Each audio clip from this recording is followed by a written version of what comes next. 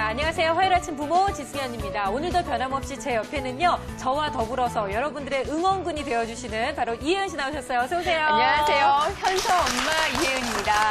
반갑습니다. 네, 저희가 지난주에는요, 말이 늦어서 걱정인 우리 진우, 진이 남매를 함께 만나봤는데요. 한 주 동안 정말 어떤 변화가 있었는지 또 어떤 노력을 하실지 너무 궁금합니다. 어머님 어서 오세요. 안녕하세요. 네, 반갑습니다. 아, 근데 우리 어머님이 지난주보다 표정도 밝아지시고요. 네. 웃는 얼굴도 훨씬 좋아 보이시고 네. 정말 많은 변화가 있었는지 궁금한데요, 아, 어머님. 예.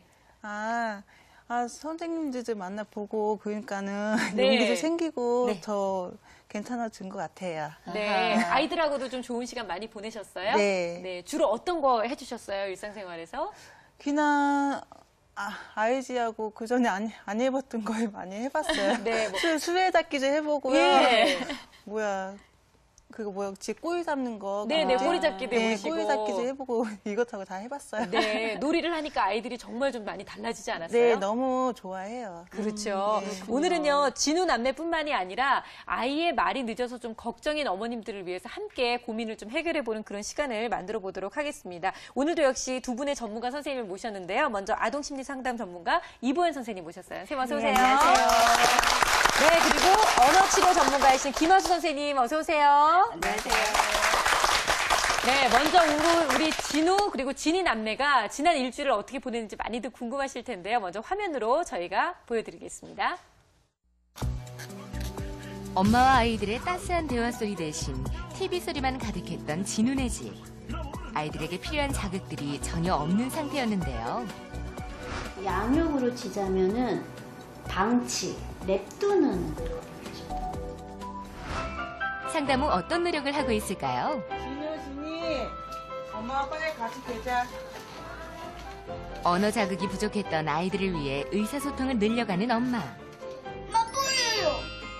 자신의 잘못된 발음을 아이들이 배울까봐 가급적 말을 아꼈던 엄마가 달라졌습니다. 엄마 엄마 봐요. 진우야, 진우 지금 개고 있는 순간 무슨 색깔? 엄마 엄마 끝났어. 자자. 어, 이거 무슨 색깔? 엄마 무슨 색깔? 진우가 얘기했으면 어. 엄마 기분 좋을 텐데 이거 무슨 색깔? 엄마 미끄러 어어 이거 뭐? 미끄럼 타요? 어 이거 마치 뭐? 맞으면 미끄럼 타요? 어 우와 무슨 색깔? 이거야? 음. 음, 하얀색. 하얀색 이- 이거 흰색이야 흰색. 흰색 음. 이거 누구 누구 옷이야 누구 거?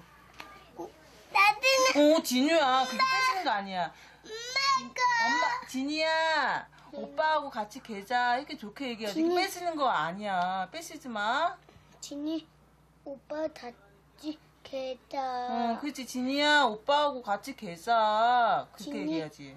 오빠 같이 계자 양육에 대한 의지가 거의 없었던 엄마는 아이들 간의 갈등도 적극적으로 중재하고 말도 훨씬 많아졌는데요.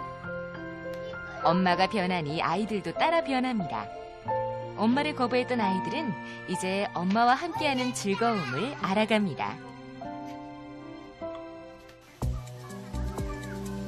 하지만 몸에 밴 습관이 하루아침에 고쳐지진 않습니다.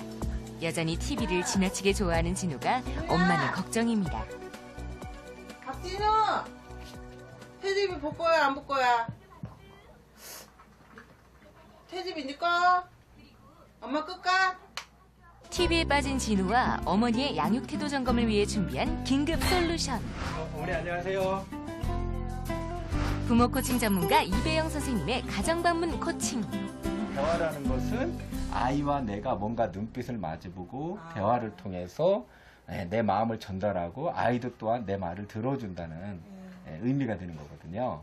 그래서 그렇게 하시는 것보다는 진우야, 이거 테디비 끄고, 나 엄- 엄마가 진우한테 할 얘기 있는데, 이거 테디 잠깐 끌까? 응?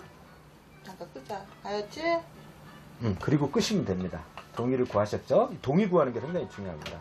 30분만이라도 아이와 놀아주는 연습을 해야 됩니다.